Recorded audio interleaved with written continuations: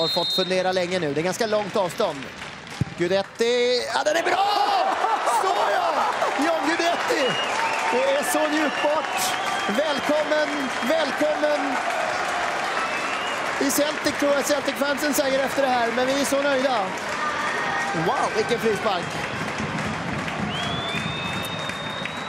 Jag tror den skulle gå över en stund där. Ja, det är en fantastisk frispark. Att han hade det i sig, det hade jag faktiskt ingen aning om. Den är ju någonting han tydligen tränar på under den här skadesperioden. Vilken frispark! Den är hård, den dyker bra, den sitter där den ska.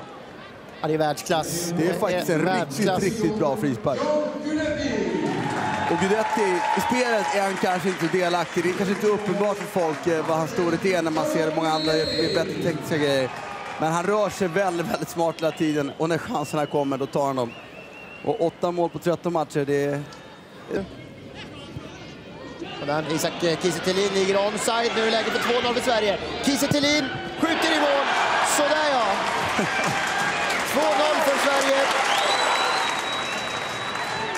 Ja, ett bra byte Håkan Eriksson gör, det kan vi konstatera. Och det är ett bra jobb också utav det svenska laget som gör att bollen hamnar hos Isak Kiese till slut. Det är det verkligen. Guidetti kanske inte är snabb nog in han bryta, men han gör det här jobbet, stressar. Och sen så när vi vinner bollen på ett fint sätt så ska jag också berömma Kistelin. Det är så lätt att ta den där, bli för ivrig i den där sista touchen och ta den för lång för att man vill gärna hålla farten. Men han är kall i det läget. Jag ska säga Guidetti, han når ju egentligen inte riktigt. Han orkar ändå göra fullfölja pressen, så får vi den lite gratis. Den där touchen är så lätt att känna sig sugen på att hålla fart istället. Att istället lugna ner sig som han gör och, och rulla in den enkelt. Det, gläder mig för Isak Kiese är en spelare som har väldigt mycket. Jag tycker han ibland har varit lite för dålig avslutare i Allsvenskan, men det här gör han ju mycket. Kvar att spela, passningen går fram. Isak Kiese och det är 3-0. Sverige har stora möjligheter att vinna den här gruppen nu i och med den här segern på Örjansvall och vi har en tvåmålsskytt i matchen. Säkert avslut. Bestämt avslut. Ja, så ren som han blev, Isak Kiese Bra löpning, men också oerhört fint sett av Hilly Mark som här i sista 5-10 minuterna har varit helt briljant tycker jag, sätt att hålla i bollen. Bört också tibbling och vinna bollen i första läget.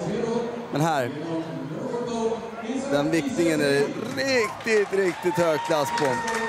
Och återigen är Kiese Jag är ledsen, jag hade en bild av honom när han spelade Norrköping, en spelare som kanske inte satte chanserna. Han gjorde inga mål.